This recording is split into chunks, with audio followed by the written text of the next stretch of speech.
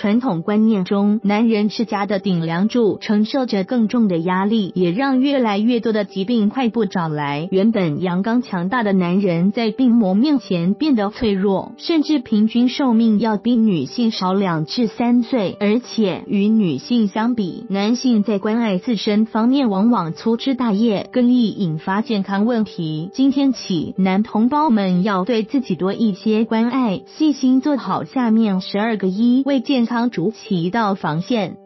每周吃一次鱼，鱼中蛋白质含量为猪肉的两倍，且属于优质蛋白，人体吸收率高。一项新研究发现，男性每周吃一次深海鱼，有助于降低心衰风险。从一千九百九十八到二零零四年，美国和瑞典两国研究者随访四万名年龄在四十五岁到七十九岁之间的男性，记录他们的饮食细节和健康状况。结果发现，每周吃一一次含丰富不饱和脂肪在鱼类的男性，心衰的发生率比从不吃鱼的男性低百分之十二。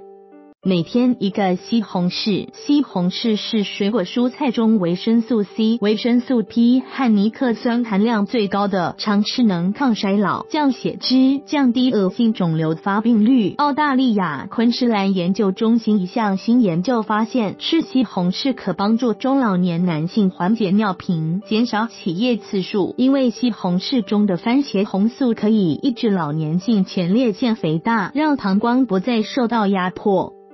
常喝一杯绿茶，绿茶中含有丰富的维生素 C、叶绿素、氨基酸、茶多酚等这些物。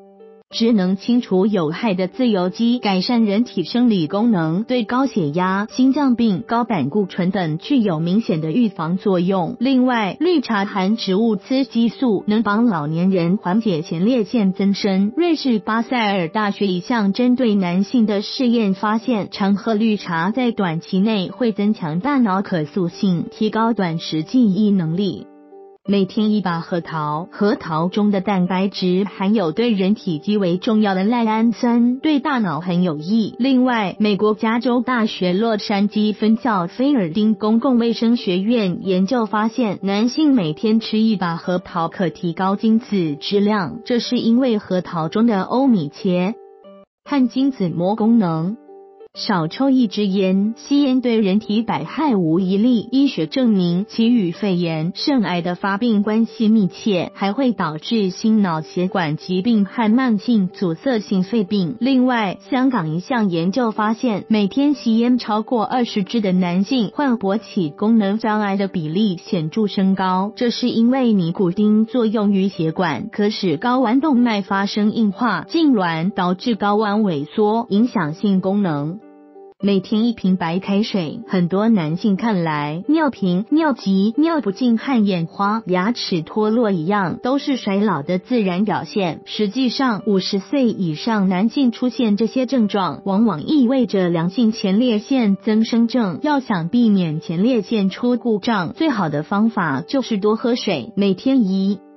瓶白开水相当于每天喝八杯水，大约两千毫升，可补充水分，保证机体正常代谢，并及时排泄体内代谢废物，还对预防结石、心血管疾病有明显的作用。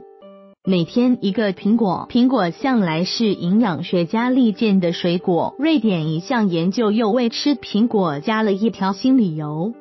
白酒不超一两。当男人在酒精作用下满脸红晕时，可能没想到喝酒除了伤肝外，前列腺也会跟着醉了。这是因为前列腺对酒精十分敏感，在酒精刺激下会变得肥大、笨拙。喝酒过量还会干扰性反应，减少性兴奋及性高潮。因此，每天喝白酒绝不能超过一两。另外，还要少吃辛辣食物。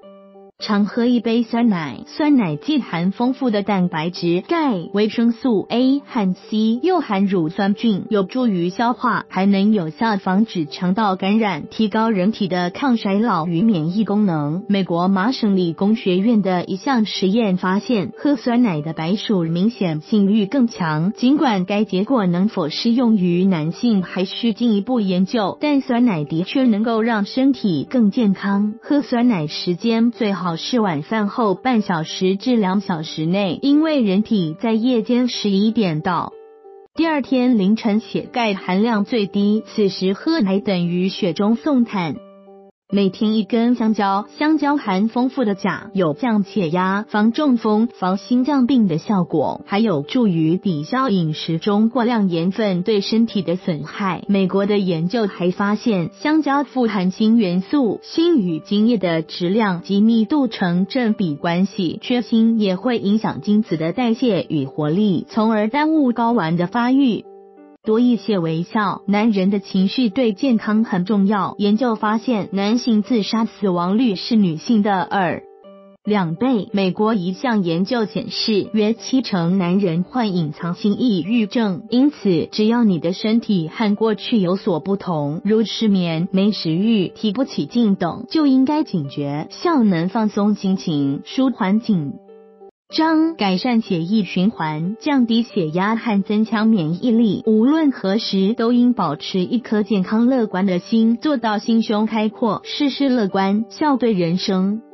多一点运动。俗话说，要长寿，多举步。加强运动不仅健身怡神，还能提高人体对疾病的抵抗力。日本东京大学最新研究显示，男性在中年期多运动，能防止老年时肌肉萎缩，还能抵御与年龄老化相关的精神健康问题。比较适合男性的运动有散步、跑步、太极拳、健身操等。另外，每天要做一些伸展、下蹲和俯。俯卧撑运动，这些得到锻炼的肌肉群能够在性生活中发挥重要作用。